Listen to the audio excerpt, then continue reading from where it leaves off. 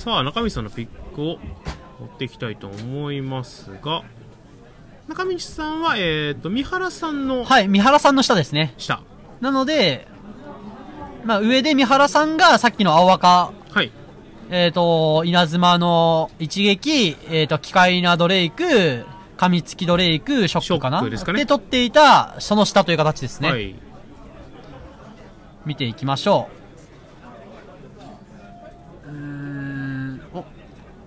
はい、所定は、これは42かな？えっ、と、フレーム単価ブートも長かい、聖者の古参兵かショックのどっちかで悩むのかな？はいはいはい。ショックから取ってもいいんですが、ショックから取るかな？安定感はショック、うん。上振れは聖者の古参兵はい。で、おおむねどっちか取ると思いますね。はい。今か、何枚か抜き出したのは、やっぱりその、どれ、どこら辺までが取られるんじゃないかっていうのを、そうですね。あ、あ、それあったの？今、あレア、レアがあった。すいません。墓地の司令官ありました。あ、補助してそれは墓地の司令官取りますわ 見えてませんでした。はい、という形で、まあ、所定は墓地の司令官はい。ただまあ、この黒いカード、は最終的には使えなかったという形になりますね。結構レアに引っ張られちゃうってことも多いと思うんですけど、はい。やった、上野三原さんも黒いカードを取りたいのなかったんで、こっからし、多分黒いカードないんですよ、ね。なんか流れが非常に悪かった。はい。で、ここで、まあ、リリシー、リリ式騎兵隊を取るはずですね。はい。まあ、カードが一番強いのがこれなんで、それかこのイノシシ、あ、マナクリを取る可能性も一応ある。はい。さあ、マナクリから緑に入るか、リリ式から白に入るかのどちらかなのですが、んどっちだろうな。僕はこういう時もうマナクリ取るって決めてるんですけど、実は。まあ、もう緑にあ行くのを早めに決めたいと。ただ、一般的にはこっちですね。なるほど。それ中道さんも選んだ結果、はい多分これがもそうですねう、。ブースになったと。あまあ、まだ、まだ、こっから、まあ、黒と白を、まあ、強いカード取ってて、はい。黒の流れがある、あ、カードだ、あ、右下にカード出た。出ましたね。すごい。2点目は、リリリリシー司令官です。リリシ司令官で。す。あ、ここで、えー、っと、あ、リリシ司令官の2枚お目。ー。で、ここでもう司令官は、もう白は確定させようって形ですね。はい。まあ、帰ってくるかは怪しいですが、一応最初のパックとかに、あのー、鼓舞する突撃とかもあったはずなんで、このプラディプラニあたりは帰ってくる可能性ありまあ、すか？これは帰ってきます。なんで、このオーラとかは目をつけてると思いますね。なるほど。なんでこの後に1、2のハヤブサ取って、この騎士の制約を、明約かな？一周したら取ろう。っていうプランをもう立はい。ててたと。立ってる可能性は全然ありますね。はいここむず、まあ、そうですね。ここリリアナのあっちを取って黒に行くパターンもあり得たんですけど、はいはい。レアレアをそうですね。使わずにしかしまあ、黒よりは白の方が色として、まあ、一応完成形がた強いので、はい。今回卓に少ないということで、さて、お、ラッパが見えましたが、すーん、まあ、ラッパの一撃を、ラッパを一吹き取っとく、取っときたくはないけどな。これなんかいいカードありますかね？一応、プラ3プラ0ファーストがあるかな？はいはい。名前忘れたけど、なんとかの一撃確実確実な一撃あるんで、まあ、そっち取れてもいいけど、ラッパの方を優ラッパを優先。先と。まあ、デッキのその、そうですね DC 形態の完成度と、はい。考えた結果こっち式、リリ式騎兵隊2枚取ってるから、っていう形ですね。まあ、今後取れなかったら嫌だろうと。はい。実際1枚しか入ってないですからね。はい、なんで、まあ、ラッパの方を取りましたと。さあ、もう完成形をしっかり見せてピックしてますね、もうこの段階で。さあ、この緑の、はい、まあ、溢れ出るゴミを放置して、もう自分のデッキになった2マナに一応。はい。えーと、2マナに1の名前は、騎兵隊の強連艦かな？これかな？はい、そうですねはい。はい。まあ嬉しいですねともうほぼ、ほぼ白ビート。一直線。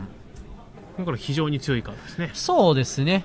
まあ、半端なデッキで使っても強くないんですけれども、やっぱダメージを入れる。にと特化したデッキだと特に強いですね。2枚までは入れてもいいかな。はい。さあ、ここはもう、はい。あ、あもう、ねはい、ゴブリンの、えー、なんたらかんたら、先導者。先導者。もうこれでやっぱ、あそこのラッパもね、うまく噛み合ってますね。リリ式、リリ式、えー、ゴブリンと取ったことで、もうすでに横並びからのラッパがもう、はい完成形がうんうんうん伺えます。横並びラッパプランっていうのは、このラッパに変わるカードが何枚かあるのがやっぱ大きい。そうですね。白に鼓舞する突撃と、一応アンコモンに、えっ、と、光線はい。があって赤にラッパの一吹きうんうんと、その3枚、一応環境に3枚あるのがすごい大きいんですよね。もう明確に狙えるアーキタイプがいると。もう、特にほとんど古文なんで、はいはい。古文だけでできるアーキタイプの中では最上級。もう攻撃力がダントツ高いので、はいしかもプラニプライチ結構使い難いデッキも多い。はい、なかなか使えないです。あ、そこはそっちなんだ。あおのーなるほど。個人的には赤の11派だったんですけど、はいそこはまあ、白を絞る。白の卓の人数を減らすという意味でも、防御牝馬の方を取りましたね。まあ、あの馬を見ることで、その、下茶のプレイヤーが白に参入できるんじゃないかっていうチャンスを潰すためにと。そうです。ね。はい。はい。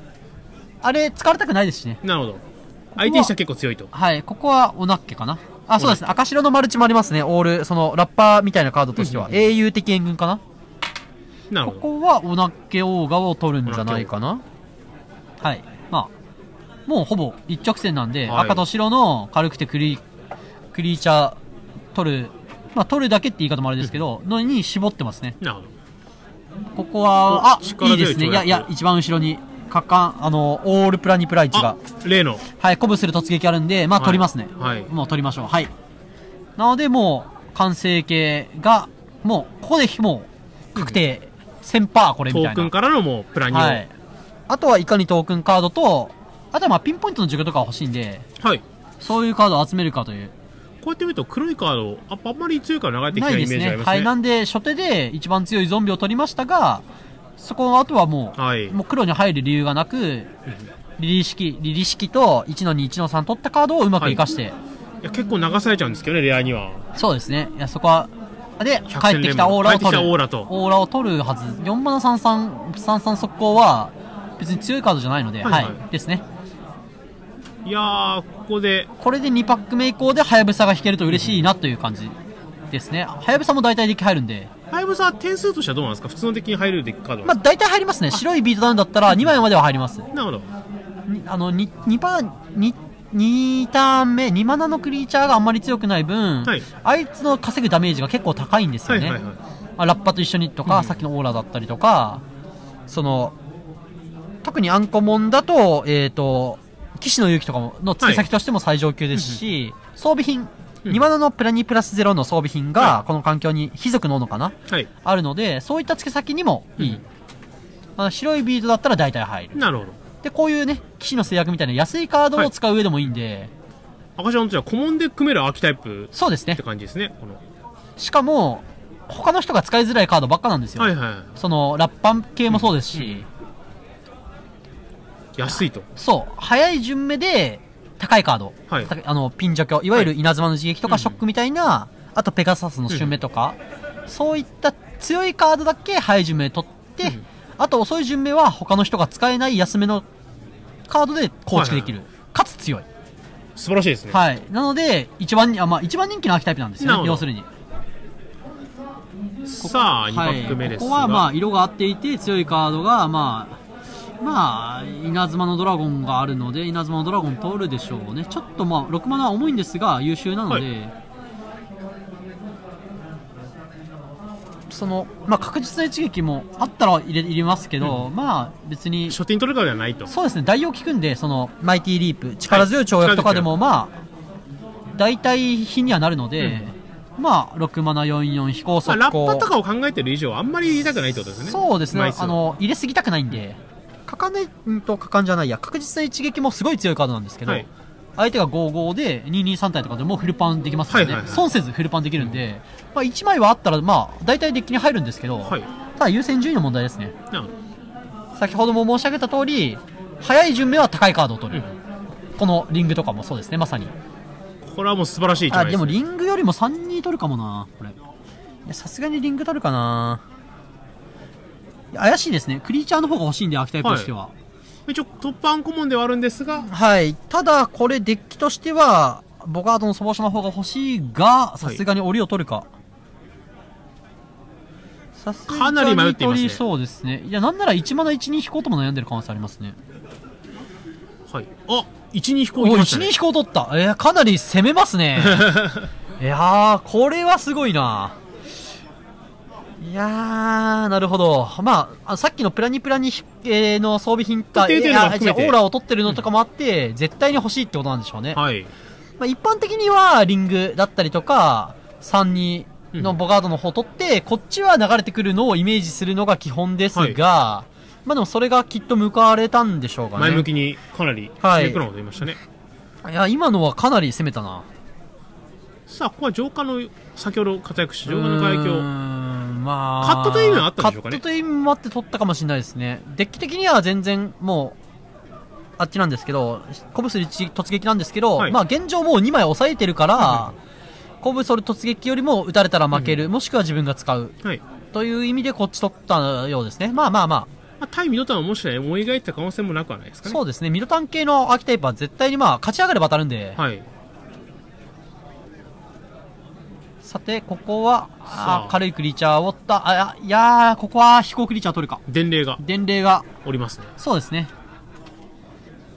あ、これがこの順目で流れてくるっていうのもやっぱ白、下にはいなそうですね。この順この坂逆順では全くいないっていう形ですかね全然いなそうですね。うんあの、中道さんが、まあ、凛々しい騎兵隊から白に入ったんですけど、はいその分、中道さん以降に白を取れるカードが全然なかったんで、はいはいはい中道さんは白だけど、下、もしくは下下は白じゃないはずなんですよ。はい取るカードがないから。まあ、ひ秘技術師の檻も2点目とかに流れてきましたから、そうね、ですね。あ、ここで1、2飛行の 2, 体2枚目を取るはあずですね。装備品もあってちょっと悩ましいんでは悩ましいないでしょうかですが、いや、1、2飛行でしょう。1 2飛行ですかねさっきリングを、まあ、あそこで人口ですからね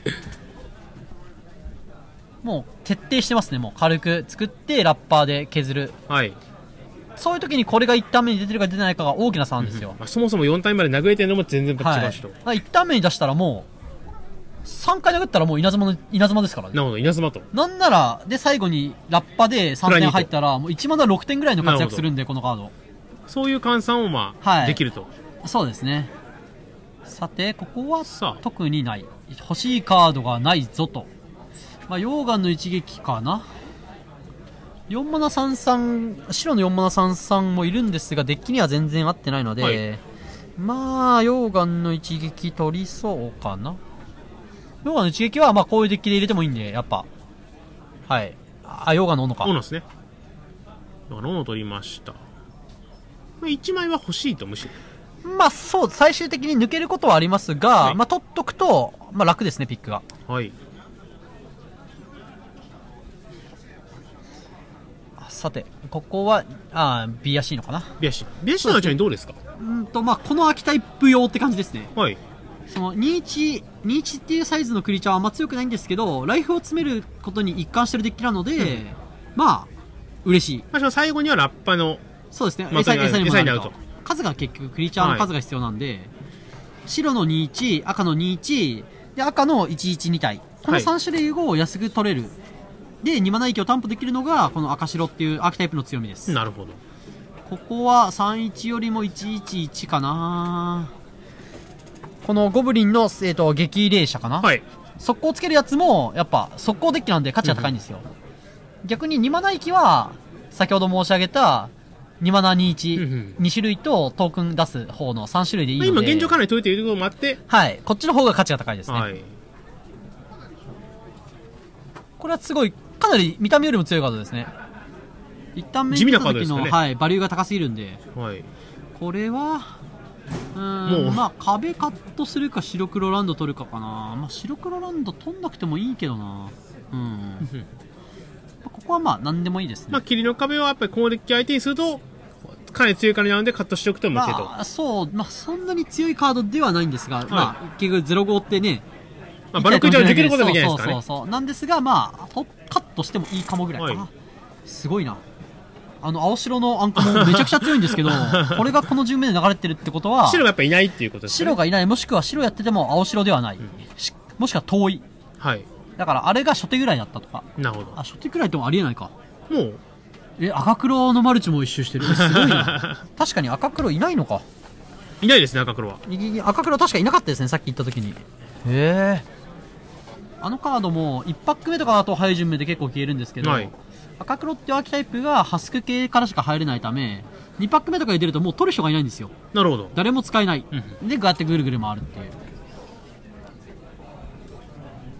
さあ、ランドアップ取っていきますね。プラ1プラなのかな、ここは。一応コンバット。はい。一応コンバット。た敵入る可能性たまにたまに使う。はい。サイドインとかね。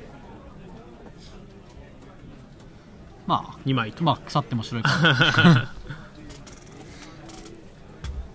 はいかなりこのもう2パック目デッキになってる。はい、あもう赤白一直線、かつ、いや、かなり、まあ、上質なカード。やっぱす、あれ、2手目だったか、あれが、おはい。おー !2-0 で、加藤さんの勝ちということで、決勝はなんとビッグス対決と。おさすが、まあ、ビッグマジックがね、やはりスポンサードしてるプレイヤーの方々強いですね。すごい安定したはい実力で、まあ、なんか、なんか、どの大会にもビッグスの方って一人は大体いますね。大体残ってますね。まあ、もちろんね、その、実力があって、その、ビッグマジックさんに認められてスポンサーされてるプレイヤーの方々なんで、しかも、そういう方々やっぱね、研鑽してましたからね。そうですねそ。の友人同士ですごいな。ビッグス対決だ。中道大輔選手と、はい。加藤健介選はい。手。はい。だけど試合の模様は30分からはいですか？ですね。だけしたいと思います。岸野勇気と鹿どっち取るんだ？これは。僕は鹿派なんですけどいただこれは1二飛行2枚取ってるという点を加味して岸野勇気を取りそうですね。なるほど。かなり、まま、悩んでるようですね、これは。そうですね。まあでも確かに1二飛行2枚だから岸かな岸野勇気かな。単体だと4万33の方が僕は強い派なんですけど、はい。一応。まあ除去みたいなもんなんで、はいはい4万33は助教に三三がついてるもんはい、えっと、ですかね。ヤンマナ33っていう言い方よくないな。鹿、鹿ですか？おじか。おじか。なんとかのなんとか。おじか。だんだん角がわかんなくて、あ、星冠のおじか。かはい。っこいいな。星冠のおじか。なるほど。ここは騎士の勇気なのか。あ、で、大電撃4マナ4点があるが、あー、どれ取るんだ ?4 マナ4点とドブヒソミと、角、4マナ4点、取りそうかな？4マナ4点はまあ。しかし、クリーチャー数も担保したいし、ライフも詰めるデッキなんで、ドブヒソミ取ってもおかしくないですね。その、三原さんみたいな青赤、スペルデッキでドブヒソミ使うのがベストなんですけど、こういった赤白のデッキでも、まあ、ドブヒソミは使えるんで、うんうんまあ、ヨガの王と同じようなカードってことですよね。そうですね。まあ、3ターン目にドロップして、まあ、ジャイグロ打ちながら2点みたいな。はい。やっぱライフ、殴らなくてもライフ削れるっていうのは強みなんで、あ、取りました、というわけで、ボシソミに行きました。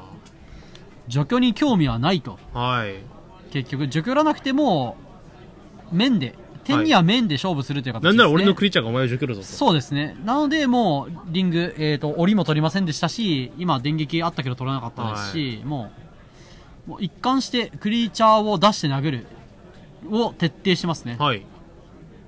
さあ、ここは、ちょっと見えづらいですが、えっ、と、反逆の行動が、あ、あ、あ、あ、暁の天使じゃあ、ない？ありますね。暁の天使ですかね。暁一番下から二番目けどな、あれは。違う？いや、暁の天使だと思いますね。暁の天使が一番後ろにあるよ、後ろから2番目にあるように見えますが、はですね。あーなるほど。横並べを重視。はい。これ結局あれなんですよね。これはさっき、あのー、5マナの騎士の雪取ったから、もう5はいいやっていうことで、軽い方を優先して取った形ですね。カードパワーから今度はそのマナカーブを優先してそうですね、もう足りない方を取るっていう形になってます。もうデッキ自体は結構強いから、あ、ここは嬉しい、ペガサス。軽くて強い。先ほどもね、大大活躍大活躍でしたね、ペガスさん。はい。とかやっぱ21とかあの場で止まりやすいクリーチャーが多いデッキだとこの特に活躍するっていそううですかね。やっぱ、2、出した2が、すぐ止まると価値がなくなっちゃうんで、はいその2に価値を持たせれるペガサスは、やっぱし強いですね。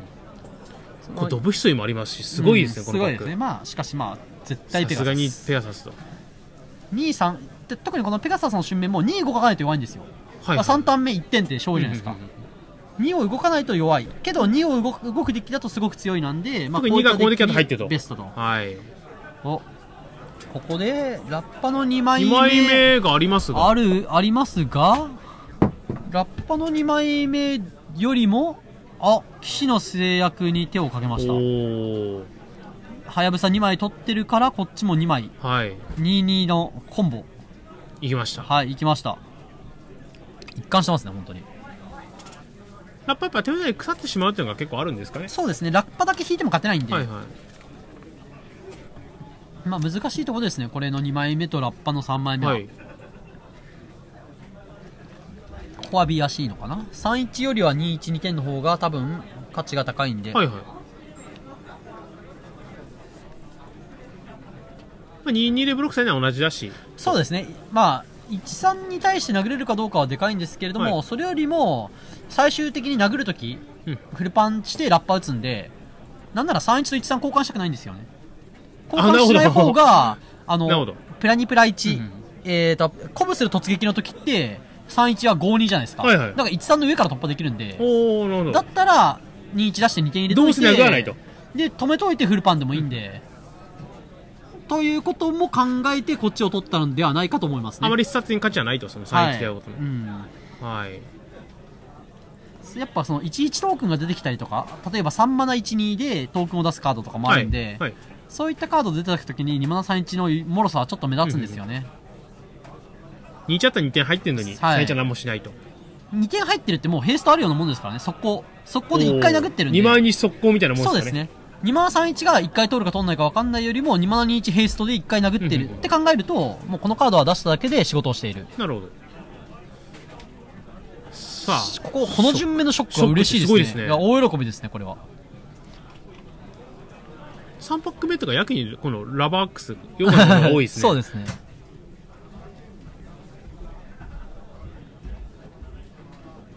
これもゴブリンも嬉しいか。はいまあ、B や C の走り出すたいですよね。あ1タ目、は さっきヘイストって言ったけどまさに速そう攻が速攻が 本当につくとなんなら2すごいってタ目4点ですからね。2すごいですね点与えて2点。本当に速攻つくとまはい、白の21の方。あはいあっちも自分自身にパンプしてヘイストつけて4点もできるんで。おおこの素晴らしい1マナ11が1タ目に出ることの価値は非常に高いです。素晴らしい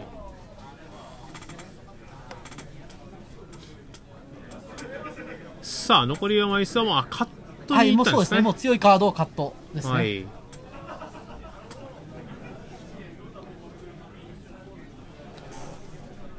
はい、反逆の行動ががこの手順で取れるのは嬉しいと。なんならこのコマで取ってなかったですからね。そうですね嬉しいですね。最終的に、ちなみに中道さんはこの順目の反逆の行動を喜んで取ってメインに入入れてますね。ねだから、すごい嬉しいってことですね、はいこれは。さっきのあの、うん。武田さんの対戦なんてはもうはすごいカードですよね。い。いつ引いたらもういつ 6, 6点。ギガントサウルスパクろうもうならもう 10点。10点ありますからね。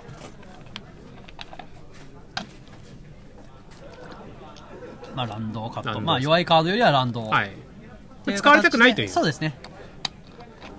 やはり、リーグではないので、はい。対戦相手、周りにはね、流したカードは疲れちゃうんで的確にカットすることも大事です。特に3-0する目的であるならその強い相手と当たる可能性があるってことを考えなきゃいけないですから、ね、そうですね。はいというわけでピックの方が終わりましたと